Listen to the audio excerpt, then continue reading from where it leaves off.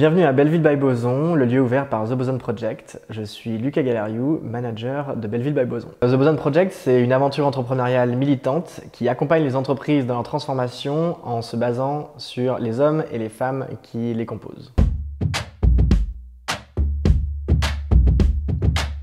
Donc on a voulu sortir des entreprises et ouvrir un lieu pour créer le débat, rencontrer les gens qui partagent nos convictions. Et donc on fait principalement des conférences et des débats et des rencontres ici. Toujours en essayant d'avoir une programmation de gens un peu surprenants qui vont traiter les sujets d'un point de vue différent. Par exemple, l'écologie où on va avoir un neuroscientifique et un biologiste qui vont venir nous parler des biais cognitifs et du fait qu'on ne passe pas à l'action malgré le fait que tout le monde soit au courant du problème.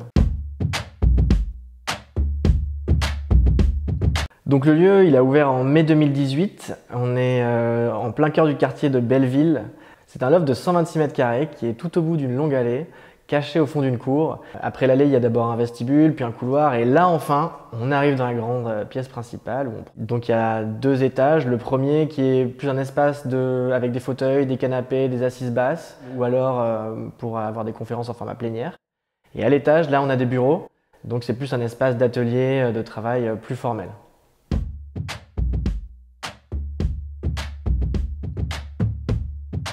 Donc c'est un lieu qui reflète euh, parfaitement l'état d'esprit et les engagements Boson Project. Un, à travers la programmation des conférences qu'on organise ici. Et deux aussi par les choix de fonctionnement qu'on a fait. Donc on travaille exclusivement avec des traiteurs écolos, on a une électricité chez un fournisseur vert et on n'utilise pas de produits chimiques euh, dans euh, nos produits de nettoyage.